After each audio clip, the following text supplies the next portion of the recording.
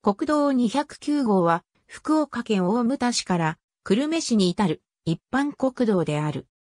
国道208号、国道209号の瀬交差点国道3号と共に筑後地方を縦断する幹線道路であり、209と呼ばれることも多い。起点は大牟田市だが、宮間市高田町の瀬までは国道208号との重複区間となっている。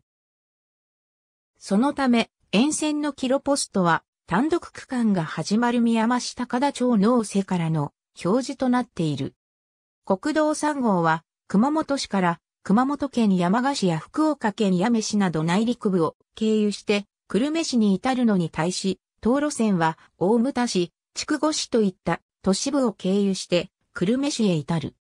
このため、区間利用を含めて交通量は多いが、大牟田市内の国道208号との重複区間の一部や、久留米市荒木町の信セ間交差点から終点までの区間を除いて、片側一車線となっているため、全線を通じて流れが歩く、渋滞することも少なくない。全線で鹿児島本線と並行する。一般国道の路線を指定する政令に基づく、奇襲点及び経過値は次の通り。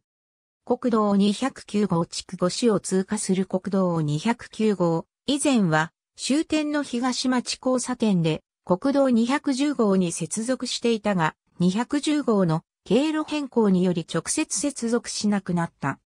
210号へは、六津門交差点を直進して指導具資源バイパスを経由する終点から国道3号を経由する終点を直進して国道322号を経由するなどの方法がある。ありがとうございます。